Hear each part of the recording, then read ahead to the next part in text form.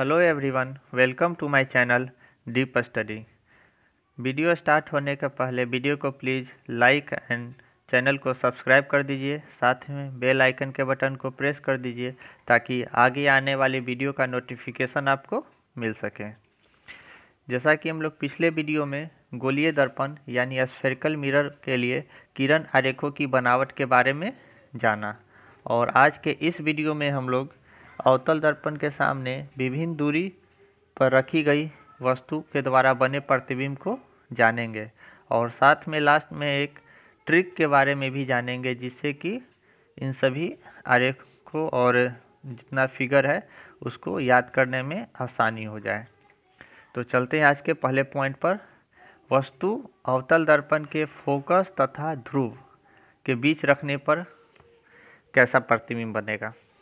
एक अवतल दर्पण, जिसका ध्रुव P और फोकस F के बीच एक वस्तु AB रखी हुई है। जब AB से एक किरण दर्पण से परावर्तन के बाद फोकस होकर गुजरती है, तब यह किरण दर्पण के पीछे से आती हुई प्रतीत होती है। ठीक इसी प्रकार जब एक किरण सेंटर ऑफ़ कर्वेचर यानी वक्रता केंद्र से होकर गुजरती है और दर्पण से परावर्तन के बाद फिर उसी पाथ पे लौट जाती है, तब यह भी पीछे से आती हुई प्रतीत होती है। जैसा कि हम लोग आती हुई जो प्रतीत हो रही है किरण, उसको डॉटेड लाइन से दर्शाया गया है। जब ये दोनों किरणें जिस बिंदु पे आगे चल कर के आपस एक दूसरे को काटेगी, वहाँ पर इस वस्तु का प्रतिबिंब बनेगा। देखते हैं यहाँ कि ये दर्पण के पीछे प्रतिबिंब बन रहा है। दूसरी बात, यह एक आभासी प्रतिबिंब बनेगा और दर्पण से पीछे जब बन रहा है और वस्तु के ठीक सीधा प्रतिबिंब बन रहा है और वस्तु से यह इसका प्रतिबिंब बड़ा बनेगा।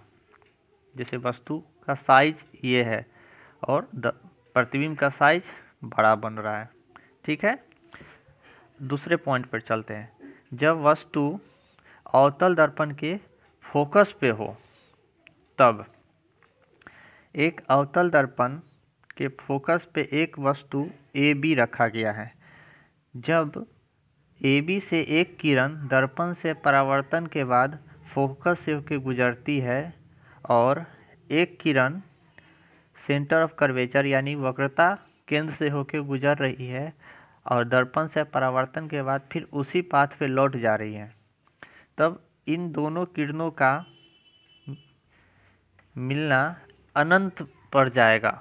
ये दोनों किरण आपस में अनंत में जाके मिलेंगे, जिससे इसका प्रतिबिंब बहुत बड़ा बनेगा। दूसरी बात, यह वास्तविक प्रतिबिंब बनाएगा और वस्तु के उल्टा बनेगा, प्रतिबिंब नीचे साइड में बनेगा, इधर साइड में। ठीक है? अब आते हैं हम लोग तीसरे पॉइंट पर।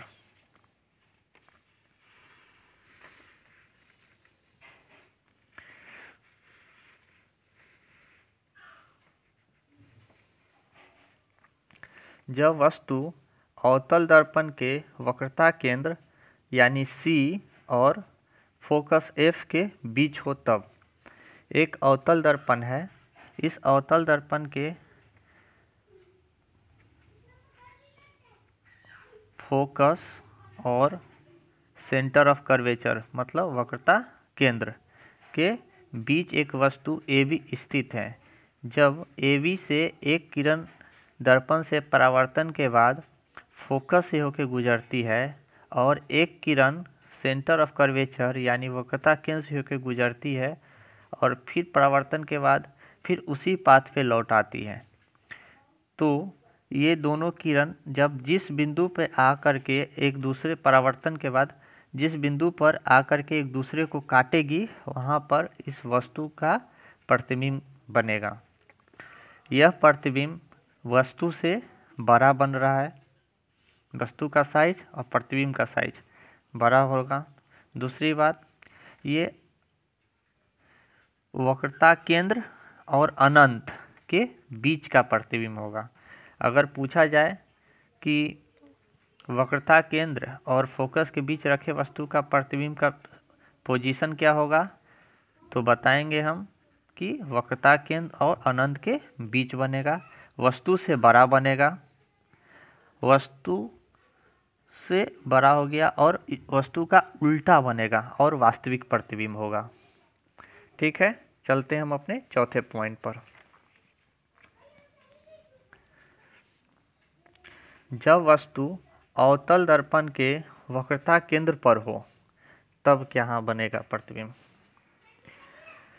एक अवतल दर्पण है, जिसके वक्रता केंद्र यानी सेंटर ऑफ़ कर्वेचर पे एक वस्तु ए बी रखी गई है। जब यहाँ से ए बी से एक किरण दर्पण से परावर्तन के बाद फोकस से होके गुजर रही है। और सेंटर ऑफ़ कर्वेचर से ही एक किरण फोकस की दिशा में आके आती है और दर्पण से परावर्तन के बाद मुख अक्ष के समानांतर निकल जा रही है। जब मुख मुख अक्ष के समानांतर निकलती है, तब यह किरण और जब ए बी से जो सेंटर ऑफ़ कर्वेचर से गुजरती हुई किरण परावर्तन के बाद, दूसरी ये किरण, दोनों जब आपस में जिस बिंदु पे काटेगी, वो इसका प्रतिबिंब बनेगा। ठीक?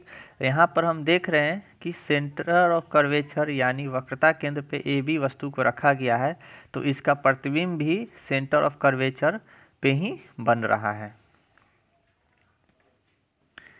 ठीक है? अब यहाँ पर हम देखते हैं कि प्रतिबिंब वक्रता केंद्र पे ही बन रहा है। दूसरी बात, वस्तु का साइज़ और प्रतिबिंब का साइज़ बराबर होगा। वस्तु से प्रतिबिंब उल्टा बनेगा और वास्तविक बनेगा। ठीक, आते हैं हम अब अपने अगले पॉइंट पर। जब वस्तु अनंत और वक्रता केंद्र के बीच हो। यहाँ वक्रता केंद्र है और इधर अनंत है।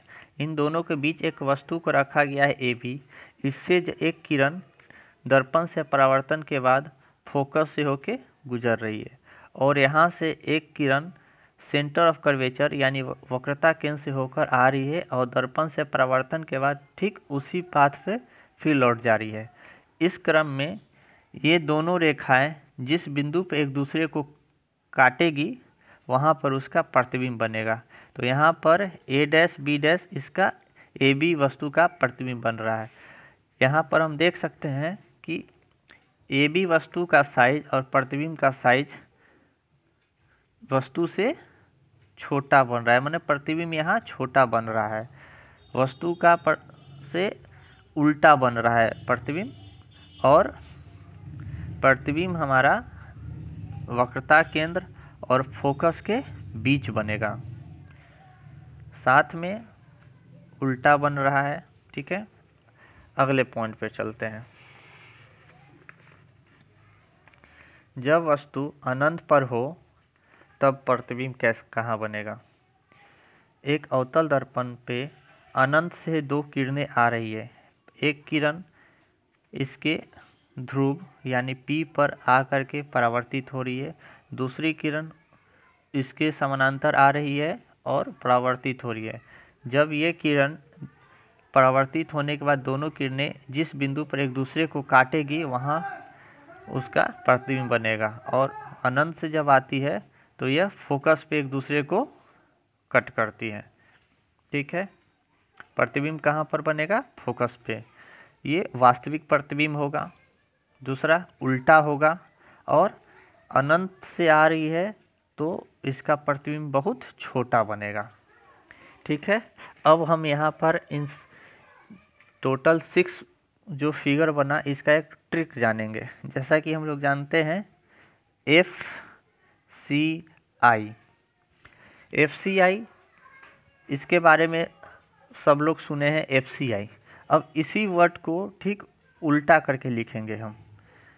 I C F. बस आई का पोजीशन यहाँ कर देना है और एफ़ का पोजीशन यहाँ कर देना है। अब आप यहाँ पर देखिएगा, एफ़ मतलब फोकस, सी मतलब सेंटर ऑफ़ कर्वेचर, आई मतलब इन्फिनिटी। जब फोकस पे वस्तु को रखेंगे, जब फोकस पे रखेंगे वस्तु को, फोकस पे तो इसका प्रतिबिंब कहाँ बनेगा? आई पर। ठीक, फोकस पे रखेंगे तो आई पर मतलब इन्फिनिटी में। यहाँ पर आप देख सकते हैं, और यहाँ देखिए, जब इन्फिनिटी पे कोई वस्तु रहेगा तो उसका प्रतिबिंब कहाँ बनेगा? फोकस पे। जैसे यहाँ देखिए, जब वस्तु अनंत पर हो मतलब आई इन्फिनिटी पर हो तो प्रतिबिंब कहाँ बन रहा है? फोकस पे। अनंत पर है, आई तो प्रतिबिंब कहाँ बनेगा? फोकस पे। ठीक? जब सेंटर ऑफ़ कर्वेचर पे हो सी पे हो तो उसका प्रतिबिंब सी पर ही बनेगा ये चीज़। ठीक? अगर एफ़ सी आई आई सी एफ़ ठीक? अगर एफ़ और सी के बीच बन रहा, वस्तु को रखा गया है तो प्रतिबिंब भी आई और सी के बीच बनेगा। मतलब इसके बीच कोई वस्तु रखेंगे तो यहाँ इसके बीच प्रतिबिंब बनेगा। अगर इसके सी और आई के बीच किसी वस्तु को रखते हैं तो सी और एफ़ के बीच में प्रतिबिंब बनेगा। ये एक छोटी सी ट्रिक है। एफ़, सी, आई, अब बस आई को इधर कर दीजिए, एफ़ को इधर कर दीजिए, इसको याद कर लीजिए। आपको ये जो छः फिगर है, सारा चीज़ आपको इसी से याद हो जाएगा। तो चलिए, आज के लिए धन्यवाद। किस अगले वीडियो में मिलते हैं। वीडियो को लाइक और सब्सक्राइब कर दीजिए साथ में चैनल को। धन्यवाद।